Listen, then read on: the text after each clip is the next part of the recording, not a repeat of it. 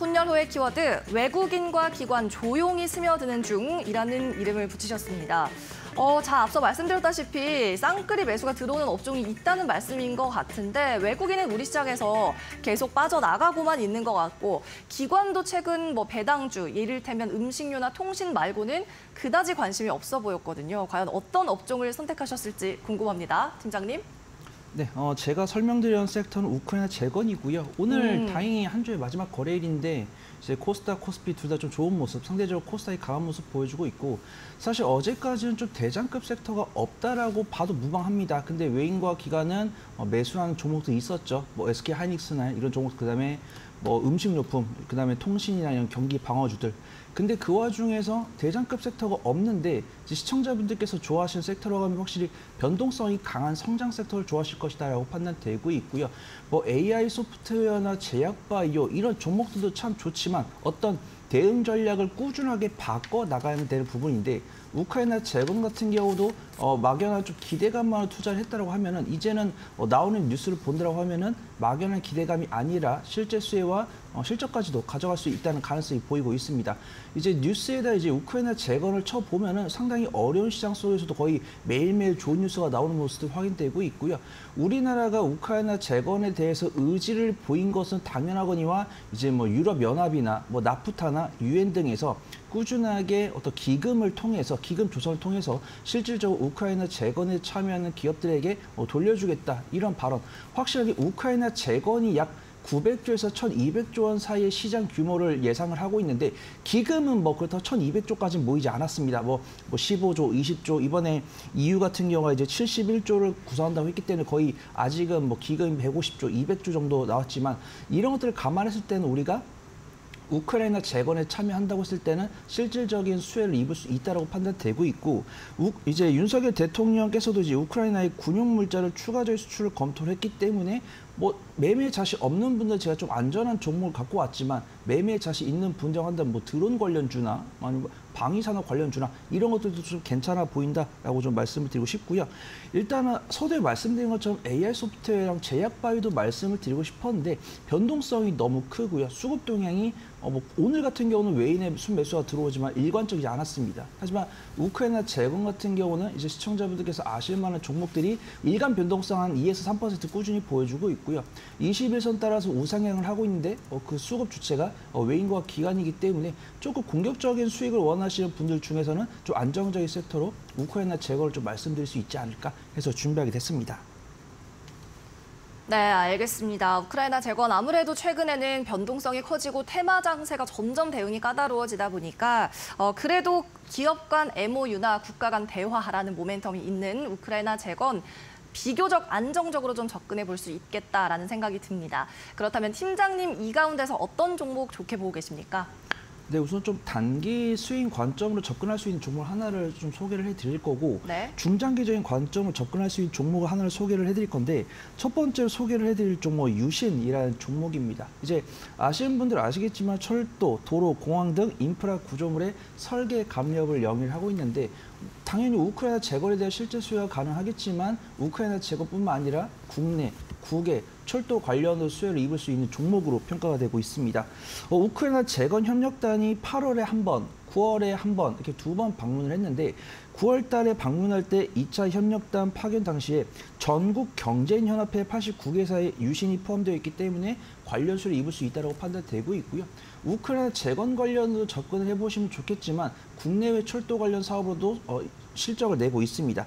이제 지하철 타고 다니시다 보면 이제 현대 로템이 가장 크게 보이시겠지만 현대 로템과 관련이 있는 종목이 뭐 도화 엔지니어링이나 뭐 유신 등도 있고 이제 우크라이나 옆에 폴란드가 있는데 폴란드가 우리나라 이제 방위 물품들을 많이 구매를 해주고 있고 고속철도 영역도 어, 국내에 맡겼습니다. 일단은 도화 엔지니어링이 어, 폴란드와 MOU를 체결했지만 유신이 어, 도화 엔지니어링 협력사이기 때문에 관련 수혜를 입을 수 있다. 그게 좀 보고 있고요. 일단 실적을 보더라도 연간 실적 꾸준하게 나오고 있고 분기 실적도 어, 차츰차츰 향상이 되고 있습니다. 업종 PER가 81.1인데 현재 PER가 7.31이기 때문에 어, 업종 대비 저평가 메리트를 갖고 있고요. 수급 동향을 본다고 하면은 오늘 조금 아쉽습니다. 오전에는 오전까지는 외인의 순 매수였는데 순 매도로 전환됐지만 어, 최근 수급 동향을 본다고 하면 외인과 기관의 순 매수세가 들어오고 있고요. 어, 저는 사실 유신이 가장 top pick이었기 때문에 유신을 강하게 말씀드리겠지만 매매 자신 있는 분들은 뭐 SY나 금강공업이나 뭐 도화 엔지니어링 이런 종목들도 좀 유심히 지켜보시면 좋을 것 같습니다. 그리고 두 번째 종목도 네, 바로 말씀해 주시죠. 네, 어, 두 번째 종목 같은 경우는 좀 매매 자신 없는 분들이 좀 접근해 보시면 좋을 것 같은데요. 제가 서두에 말씀드린 종목들은 수급 동향이랑 뉴스를 하루에 한 번씩 좀 체크를 해 보셔야 되는데 나는 뉴스를 하루에 한 번, 한 2, 3일에 한 번, 혹은 뭐, 뭐 공장에 뭐 휴대폰을 반납하고 들어가시는 업종이 있으신 분들은 어, 삼목 S폼을 좀 유심히 지켜보시면 좋을 것 같고요. 일단 뭐 SY나 금강고 같은 경우는 이제 모듈러 주택이라고 해가지고 SY 같은 경우는 이제 협력단에 포함이 돼 있어서 정말 어, 수혜를 이을 수 있지만 궁극적으로 모듈러 주택에 필요한 거푸집은 삼목 S폼이 만들고 있습니다. 일단은 삼목 S폼 자체가 모듈러 저택업을 하고 있기 때문에 그런 협력단에 포함되면은 뭐 실수혜가 가능하지 않을까. 이제 전문가분들 사이에서 강하게 말씀을 하고 계시진 못하지만 관련 업을 직접적으로 수행을 하고 있고 이 협력단에 포함이 된다고 하면은 안정적인 재무 가치에다가 좀 거래량이나 수급 이런 것들도 좀 몰릴 수 있지 않을까 그렇게 판단을 하고 있습니다. 일단 업종은 이제 기업 개요로 말씀드리면 건설용 거푸집 전문 업체이기 때문에 실질적으로 임시 거주용 주택에 필요한 어, 그런 부품을 납품하고 있다. 그걸 좀 보고 있고요. 확실하게 이 삼목 S폼이 우크라이나 재건에 포함됐다. 이제 뭐 특징주라고 해가지고 뉴스가 많이 올라오죠. 특징주에 포함이 되지 않았는데 8월 초랑 중순에 우크라이나 재건 관련 종목들이 정말 강한 모습을 보여줬을 때는 그 뒤를 쫓을 수 있는 종목으로 부각이 되었었습니다. 어, 하지만 지금 21선 이탈하고 60일선 이탈. 이제 주가 추이만 봤을 때는 부정적이겠지만 제가 서두에 말씀드린 것처럼 이 종목을 지금 당장 매수해서 내일 당장 수익을 본다는 게 아니고 정말 매매에 자신 없는 분들이 좀한 1주나 2주간 모아가는 관점. 분할 매수하신 다음에 우크라이나 재건 관련 대장급 종목들이 먼저 강세를 보였을 때는 그 낙수 효과를 어, 삼목 S폼이 거둘 수 있지 않을까 그렇게 보고 있고요. 오늘도 오늘 다행히 좀 수급 동향이 좋지가 않아가지고 좀 열심히 모아가자라고 말씀드리려고 했었는데 오늘 뭐 양봉 보여주고 있고 외국인 순매수가 어, 가수급사로 확인되고 있기 때문에 천천히 모아가면은 뭐 안정적으로 수익 가질 수 있는 종목이고 제가 뉴스를 보다 보니까 이게 좀 강력한 투자 포인트가 되지 않을까 하나가 있습니다. 실적이 안정적으로 나오고 있고요. 유보율도 500%가 넘는 기업인데 이런 안정적인 실적을 갖고 있는데 주주가치 재고를 안 하고 있습니다. 이런 걸 그냥 주주랑 회사가 모르면 되는데 이 투자자들이 삼목 S폼 회사에다가 어, 이렇게 실적 잘 나오고 있는데 배당 좀 해라. 주주가치 재고를 위해서 노력을 해라. 이런 주주가치 재고를 안 할 거면 상장 폐지를 해라. 이렇게 강하게 나오고 있습니다. 그래서 만약에 어, 삼목 S폼이 뭐 주주가치 재고에서 배당을 키우겠다. 어, 정말 이거는 제 개인적 욕심인데 자진 상장 폐지를 하겠다.